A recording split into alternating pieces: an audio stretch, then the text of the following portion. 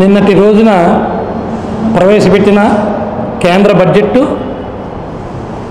ఆఖరి బడ్జెట్ ఐదో బడ్జెట్ ఈ ఎన్నికల టర్మ్కి ఇది ఆఖరి బడ్జెట్ దేశ ప్రజల్ని చాలా నిరాశ పరిచిందని చెప్పి వైఎస్ఆర్సీపీ తరఫున ఘంటాపదంగా చెప్పగలుగుతున్నాం. ఇంచేతనంటే ఇది కేవలం బీజేపీ ఎన్నికల మేనిఫెస్టోలాగా కనిపిస్తూ ఉంది.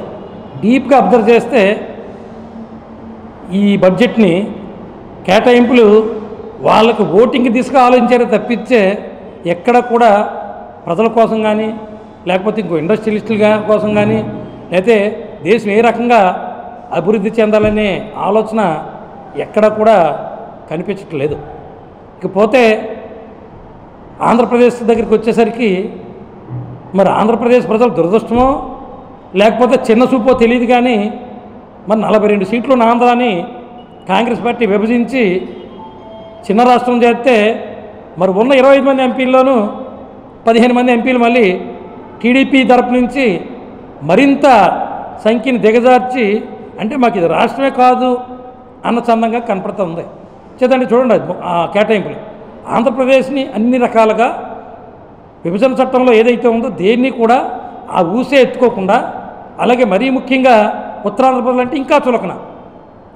రైల్వే బట్ రైల్వే జోన్ అనేది ఉత్తరాంధ్ర ప్రజలకి ఎప్పటి నుంచో మూడు నాలుగు తరాల నుంచి కలిది మూడు నాలుగు దశాబ్దాలుగా. దాన్ని అంత నెగ్లెక్ట్ చేయటం దాన్ని ఊసే ఎత్తకపోవటం లేక పోలవరం ఊసే ఎత్తకపోవటం ఇవన్నీ ఏమనుకోవాలి? దేనికి సంకేతాలు? అంటే మరి బీజేపీకి టీడీపీకి ఏమైనా రహస్య ఒప్పందం ఉందా? రహస్య ఒప్పందం బయట పెట్టండి. ఏదో మొదటిసారి ఏదో చెప్తారు రెండోసారి ఏదో చెప్తారు మూడోసారి చెప్తారు ఐదోసారి ఆఖరిసారి. ఇప్పుడు జనాలు మభ్య పెట్టలేరు.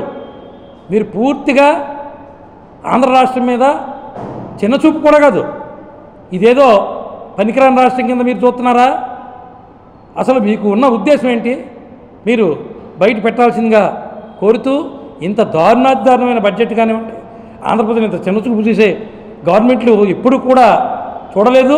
ఇక ముందు కూడా చూడకూడదనేది నా ఆలోచన. Thank you